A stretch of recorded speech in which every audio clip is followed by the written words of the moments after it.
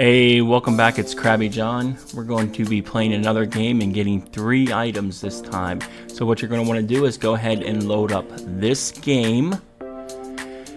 Event Club Iris. Once you have that game loaded up, you're going to be trying to get this necklace, a beanie, and a pair of sunglasses. I'm going to let you know right now this game is full of loud music annoying people, and of course, there's an event going on, so there's a lot of. Okay, so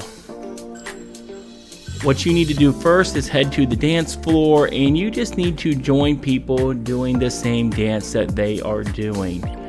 I saw this person dancing, I went ahead and did their move. I guess somebody else joined us. Once you have about four people doing it, you will go ahead and get the first badge.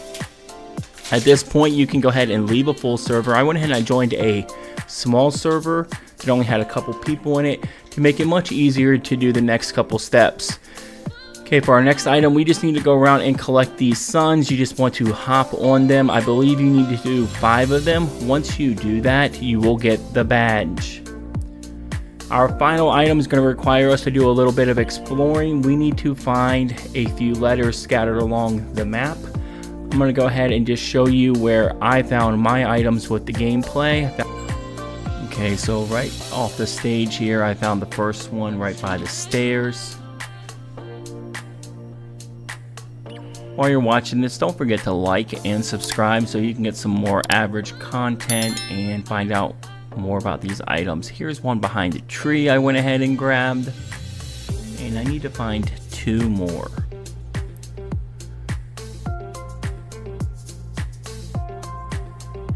I thought there was one here. I did not find one. Some people have told me that these items are scattered throughout the map, so they might be in different places for you, but I don't know if that's true or not. This is where I found them. Okay, so I head up to this VIP area. And I'm looking for another item. I think there might be something. Yep, there it is. Okay, right behind that pillar. Now I have three items now. I just need one more. Well, I guess they're not really items, they're letters. Not over here. Hmm, where can that last item be? Oh, let me go down through the lounge. Oh, there it is. Okay, so I've got all four letters. I've gotten my badge. Let's go ahead and see what those items look like on my avatar. So here we go with the beanie. And I apologize for not switching out my hair. There's the necklace, not too shabby. You could probably wear that with a lot of outfits.